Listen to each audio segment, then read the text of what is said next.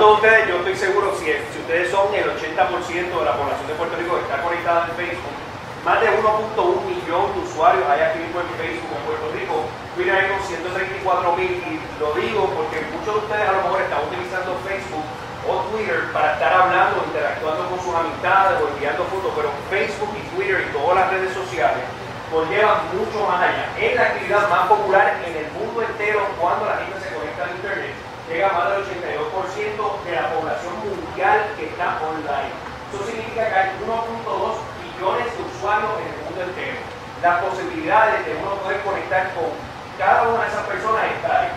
Facebook es el rey señor de todo lo que es social media, con 845 millones de usuarios globales diariamente. Y en Puerto Rico, como les dije, 1.1 millón. De todas las transacciones que se hacen a través del Internet páginas, una de cada cinco páginas es para Facebook. Así que se podrán imaginar lo grande que es Facebook, lo poderoso. Twitter le está siguiendo los pasos. Twitter es un servicio de 140 caracteres, que es una especie de mensaje de texto en un feed constante que ustedes siguen a quien en realidad ustedes quieran seguir. Twitter tiene unos casi unos 500 millones de usuarios alrededor del mundo. Y Twitter se ha responsabilizado por muchas de las cosas grandes que han estado pasando en los últimos años que ha conllevado que el social media se convierta en lo que es ahora. Es una revolución que está, ah, eh, está impactando lo que son industrias de la noticia, lo que es la televisión, lo que es el mercadeo, lo que es la publicidad, todas las áreas. Si nosotros las miramos de alguna manera, está siendo impactada por lo que es social media. Y es bien importante que ustedes entiendan que social media es esa interacción que ustedes tienen con los usuarios. Este teléfono fue lo que yo llamo la transformación para que el social media sea lo que es hoy si no fuese por Steve Jobs y el iPhone, no tuviésemos esta cantidad de información que estamos recibiendo diariamente, fotografías, videos, mensajes de texto alrededor del mundo. Este es el mejor ejemplo. Esto fue un candidato en el año 2008 en Irán que abrió su página de Facebook y logró que las personas salieran a las calles a protestar en Irán, que es un país altamente represivo.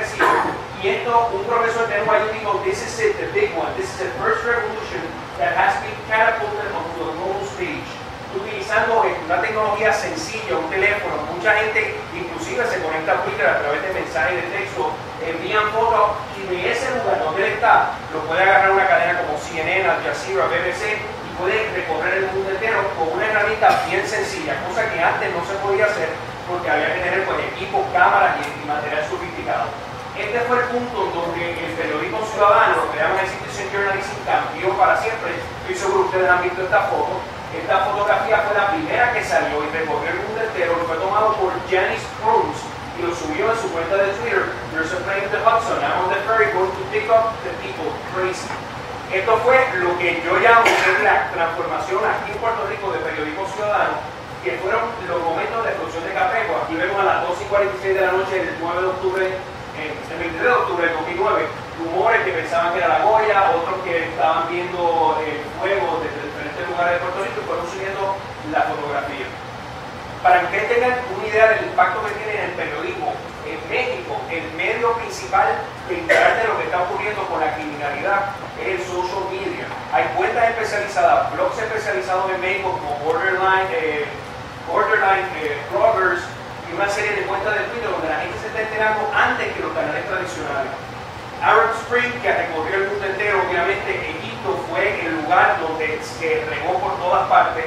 El 25 de enero fue promocionado intensamente alrededor del mundo y Facebook jugó un papel protagónico para que la gente saliera a las calles indignada y lograran derrocar el gobierno de Hosni Mubarak.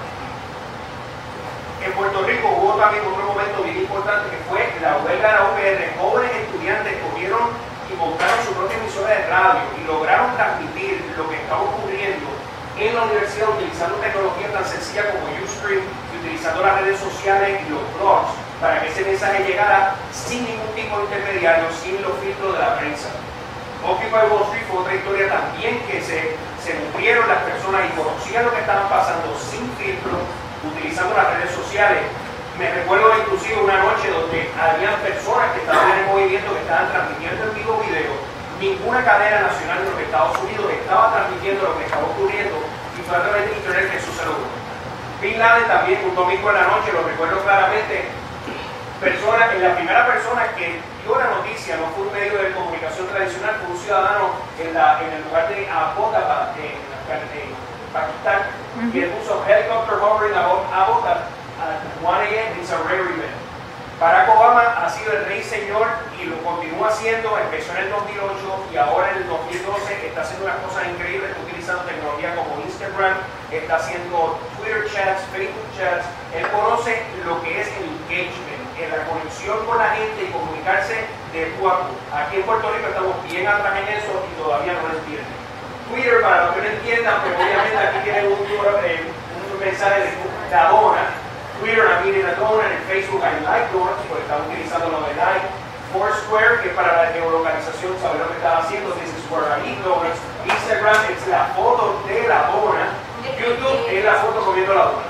Esto, yo creo que esto lo resume, The Revolution will be tweeted. Todos los eventos grandes que están pasando a nivel mundial están siendo tweeted al momento. Así que los que no estén en ese, los que no estén conectados a las redes sociales, se está perdiendo una conversación enorme.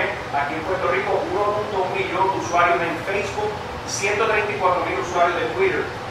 A nivel mundial, la revolución de las redes sociales está ocurriendo gracias a, los teléfonos móviles, que cada vez es más económico poder conectarte a, utilizando un iPhone o un sistema Android, 1.2 millones de usuarios web solamente en las plataformas móviles y el 87% de la población está utilizando teléfonos celulares. Así que se puede imaginar cómo pueden, y ya acabo, cómo pueden, cómo pueden eh, esa, esa, tecnología de móviles, cómo pueden eh, ser un agente de cambio y pueden lograr unos cambios increíbles con una tecnología tan simple como un teléfono, un teléfono celular y una computadora.